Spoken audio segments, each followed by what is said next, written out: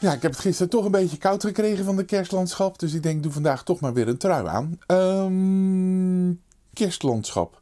Ehm, ja, ik wil vandaag met jullie een uh, specht gaan tekenen. Uh, specht, ja, je ziet het niet zo vaak, maar ik heb daar een trucje op gevonden. Ik vind, uh, als ik... De vogeltjes komen weer in de tuin. Ik doe de vogeltjes voeren nu, met in de winter. En voor de specht heb je zo'n kan je zo'n potje ophangen met, met, met vet erin, of vetbollen. Maar wat voor spechten echt lokt, is bijvoorbeeld pindakaas aan een boom smeren. Ja, trucje. Pindakaas vinden ze namelijk ontzettend lekker. En is het slecht voor de vogel? Geloof ik niet. Uh, hè, potje pindakaas of pindakaas aan een boom smeren. Maar als je pindakaas aan de boom smeert en je woont bijvoorbeeld zoals ik in de buurt van het bos, dan kan je spechten in je tuin verwachten. maar we gaan vandaag gaan we hem tekenen. Teken je mee?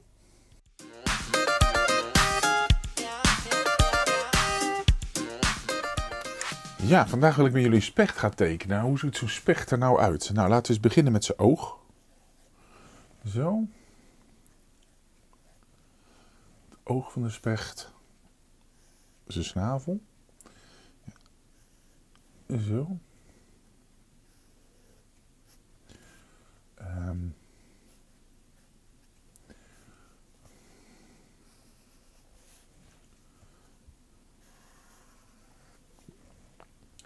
Laten we hem een beetje tegen de boom aan zitten, die specht. Zo.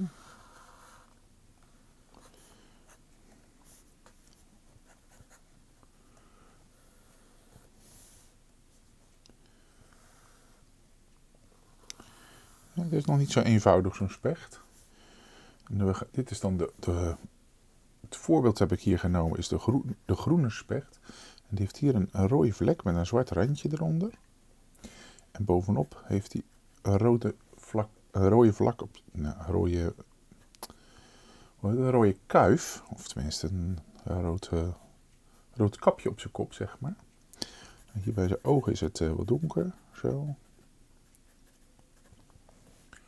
En hier, dit was dus ook donker. En dat loopt door naar die snavel, zo. En dit is dan wit, rond zijn kop. En hier begint zeg maar het groen. Zo, en heeft hij hier, naar die staart toe, heeft hij zwart met witte stippen uh, vier. Zo.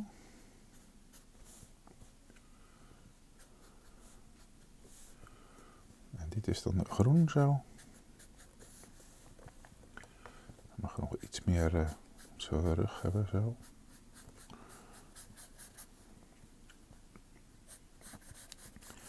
Deze veer is dan zeg maar zwart zo. Nou, en hier heeft hij natuurlijk zijn poot zo. Zit hij mee op de boom. Nageltjes. Houdt hij zich vast aan de, aan de boom.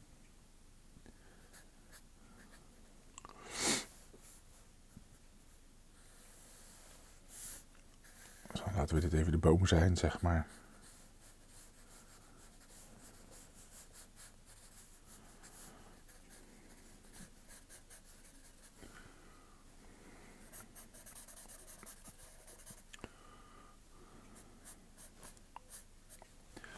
En dat is zeg maar dan de groene specht.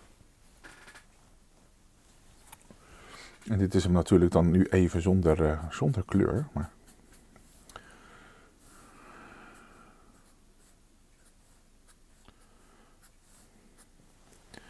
Zo, uh, maar we hebben natuurlijk ook de roodbonte specht.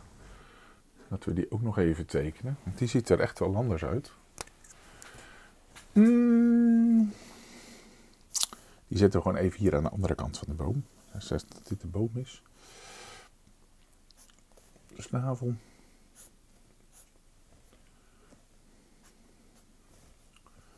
Oog.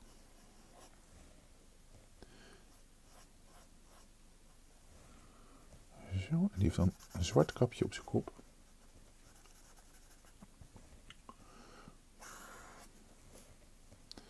Dit is bruin, een bruine vlek hier heeft hij hier zitten. Zo, en dan is het hier ook zwart.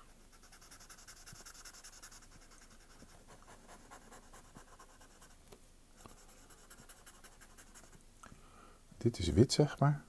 Dit is dan zijn zwarte kop.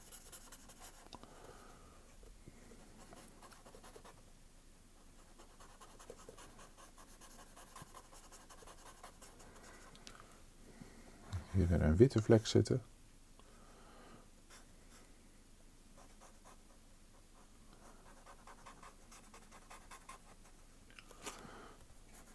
Een beetje gevlekte, gevlekt beest is het eigenlijk. Zo.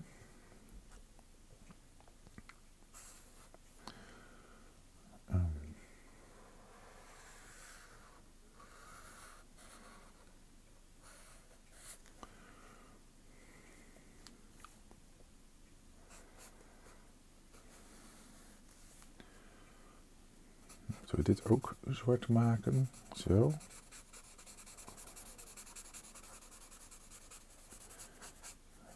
Ik wel dat deze stift ook alweer een beetje op begint te raken. Ik ga er even een andere stift bij pakken.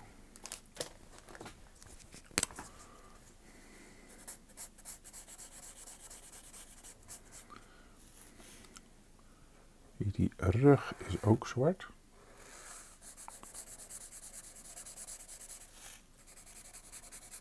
Specht. Dit is de roodbonte specht. Nou, we hebben hier nog geen nergens rood tegengekomen. Dat klopt ook. Daar is die allemaal niet rood.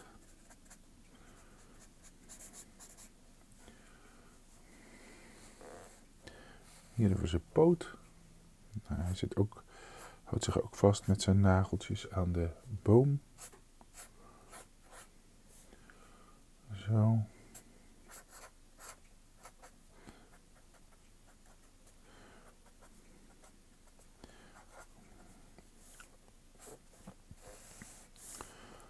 Zoek naar uh, insecten natuurlijk in zo'n boom. Um, en hier, dit stukje, dat is dan rood. En valt die zwarte vleugel overheen en heeft hij hier nog een zwarte staart. En in die zwarte staart zitten ook weer witte vlekjes. En hier in die vleugel zitten ook witte vlekjes. Maar dat zijn eigenlijk strepen met lichte vlekjes. Eigenlijk moeten we het een beetje zo tekenen. En hier zitten dus ook die lichte vlekken in die, uh, die veren. Zo.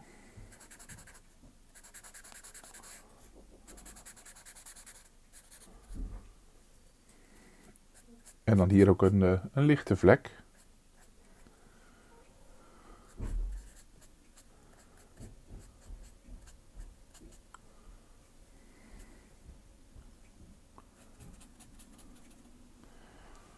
Zo, en dat is dan de bonte specht. Uh, hier, dat rood. Dit is dan een, uh, het rode stuk. Ik zal het gewoon even arceren. Dat is dan de rode vlek op die, uh, die specht. Um, nou heb je wel bij sommige rode bonte spechten, die hebben hier dan ook nog een rode vlek. En dat schijnt het mannetje te zijn. Dus als die hier achter op zijn kop, dus hier zo, ook een rode vlek heeft, dan hebben we te maken met het mannetjesspecht van de roodbonte specht. Nou, twee spechten getekend. Um, ja, ik zou zeggen, ga zelf ook aan de slag met de, met de vogels. Misschien ook een specht. Misschien komt er bij jou ook al in de tuin. Ja, en dan uh, smeer pindakaas aan de boom. Hè. Kijk, aan de boom. En dan lok je spechten naar je tuin.